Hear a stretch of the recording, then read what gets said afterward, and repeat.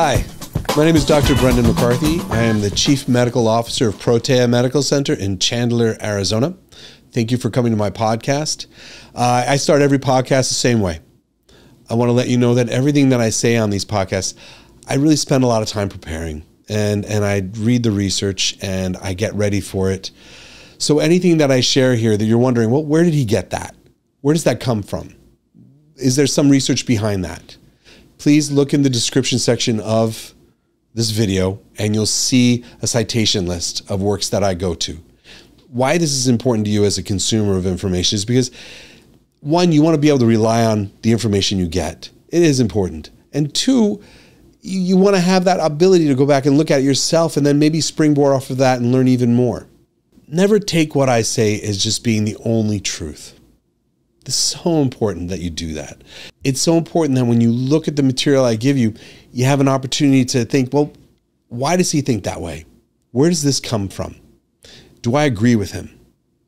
And then when you read where I got this information from, you can come to your own conclusion and agree with me or not, but at least you see where I came with this. So, with that said, I want to go into today's topic, which is thyroid. And that's a, another one that's really important. I've been planning on doing this podcast for years and um, years, years. And I remember when I spoke to the producer about starting this, he's like, we are talking about material. And I was like, I have a, I have a stack of things I want to talk about that I've been taking notes and, and, and stacking up material. And then, you know, a lot of it comes from cases I've experienced. And uh, so I'm just working through that stack right now. And, and the next one is thyroid on my list. And, and what about the thyroid? What is thyroid? For those of you who don't know what thyroid is, I'll give you the real simple explanation. Think of the thyroid as the dimmer switch of metabolism in your body. Okay? It plays a role with the metabolism in your body. It can either turn metabolism up or turn it down. We all have a thyroid. Where I really wanted to focus on this today is to those of you who do take thyroid or wonder about your thyroid. I see so many patients coming to my clinic and there's so much confusion around thyroid. Am I taking the right medicine? Is the medicine I'm taking working? Do I really have hypothyroidism? What's going on with my thyroid? How do I understand this? And a lot of people will be taking their thyroid medication and say, I don't see a difference before and after. It does nothing for me. So these are all important things to be answered. And they're not always answered by your physician, sadly. And that's one thing I, I want you to know this, please. Another thing to take home. The word doctor, I think I said this in a previous episode. The word doctor comes from the Latin word docere, and that means to teach. Okay? The role of the physician is to give you an understanding of what's happening. Then you make the decision based upon that information. You make an informed decision, an educated decision. The role of the physician is to teach, to educate you and and also in my part, I always believe in letting you know where I got my information from, so you know where I'm thinking or how I'm thinking as well.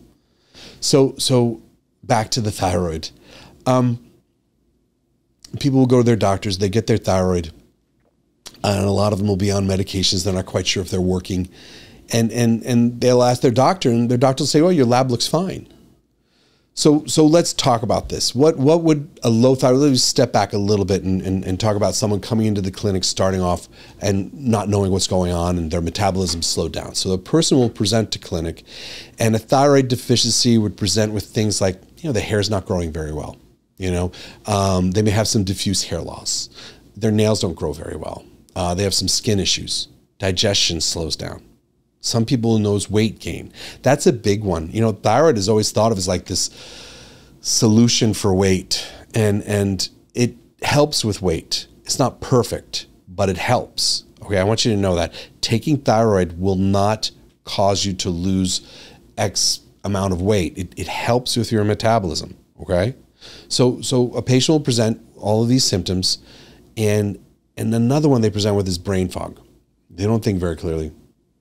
And that's a big one. That's really important with thyroid, I've noticed with my patients. The thing you need to know is the lab work that's usually done for you, for your thyroid, is really pedestrian. It's generally the most basic panel that's not very helpful.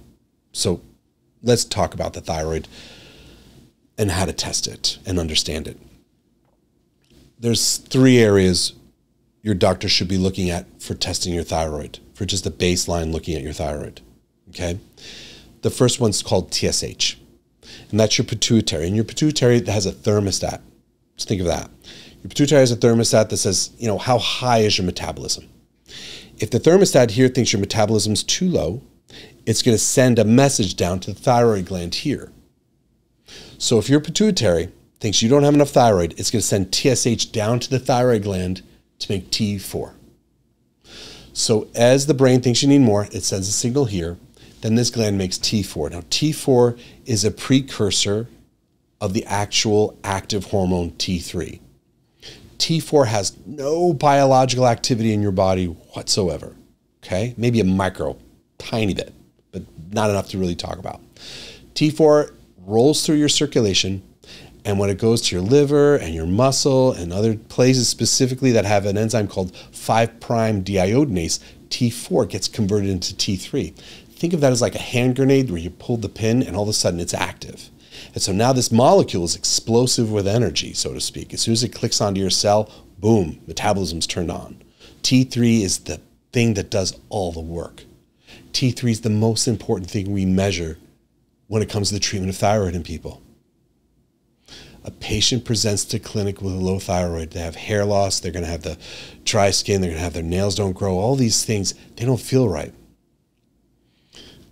the T3 binding to the cell is what does those things for the cell to produce hair.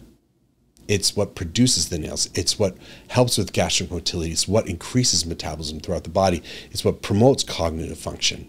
T3 does all of that. So when a person presents to clinic and their lab work, they get drawn just the TSH. That's what most clinics do, almost all clinics. This is the problem. And many of you are going to see this video and be like, I know, that's what I get. And it's frustrating.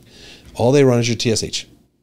Or maybe TSH with a reflex to T4. So you're going to be looking at what your pituitary's opinion of your thyroid is and how much maybe T4, thyroid hormones being made from here. But they don't measure T3, which is the hormone that does the actual work. So say your thyroid, your, your TSH is off, your T4, they're like, okay, we'll prescribe you medication based on your TSH alone and they prescribe you medicine. They'll prescribe maybe levothyroxine or synthroid. Okay. Levothyroxine and synthroid are purely just T4. That's all it is. It's just this, just that. Remember, as I mentioned a minute ago, this has no biological activity. Synthroid and levothyroxine does not do anything until it gets bioconverted into T3. T3 does all the work. It binds the cell, it makes everything happen. So when a person is given T4, is levothyroxine or synthroid, and it goes into their body, if their body doesn't turn into T3, it doesn't do anything. When you give a person T4 as a standalone therapy, you need to look at the T3 to make sure they're making the active hormone from it. T4 needs to turn to T3 for something to happen. You can measure the TSH, the opinion of this. You can measure the T4, all you want. But it doesn't mean you have T3. T3 is everything. It's the most important thing you will do. It doesn't always get tested. It's rare that it gets tested. It should always be tested. Backing up just a little bit with testing, just one more thing that's very specific. When you run a TSH, T4, and T3, you need to have the T4 and T3 be free. It's called free.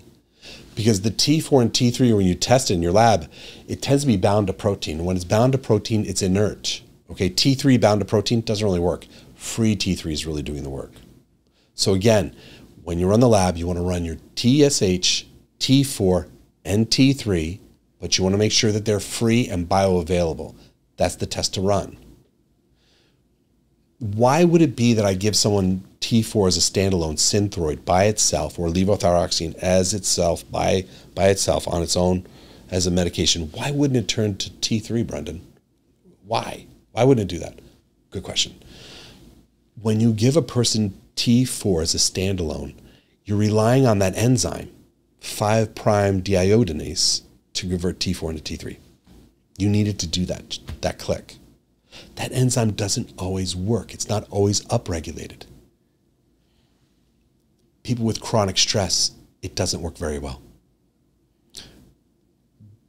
Sometimes you'll have a person who has T4 that's adequate, but they're not converting it to T3 very well because they also have a deficiency of zinc and selenium. See, it doesn't always mean you need to prescribe more drugs. Sometimes you need to understand where the problem is. What if the person just has a zinc and selenium deficiency? That's not that's not a problem. run the lab, do the work, figure it out, give them the right medication. You can solve it that way too. So when a patient presents to clinic with thyroid, I want to run the most expansive panel, and it's not the most expensive either. It's not. By the way, this is not expensive. It's in the in the situ- in medicine among all the labs out there. It's not that much to add this in there. It really isn't. It, it's it's small. So when you get a patient, when I get a patient at clinic, when when we have a, a, a patient in our practice who presents uh, from another place or whatever, they're already on thyroid, they're on levothyroxine or synthroid, it's not working. They don't feel right. The TSH looks fine, T4 looks fine, T3 is very low. What do we do? How do we fix it? One, I want to see can I help them convert T4 into T3? Can I enhance the 5 prime deiodinase, that enzyme, with zinc and selenium? Is there a lot of stress going on in their lives?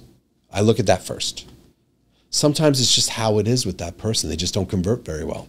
Sometimes, though, the enzyme can be enhanced with giving them just a little T3 as a medication. That's the part. That's the part that's missing for a lot of people. The levothyroxine or synthroid's fine. They just need a little bit of T3 to make it work.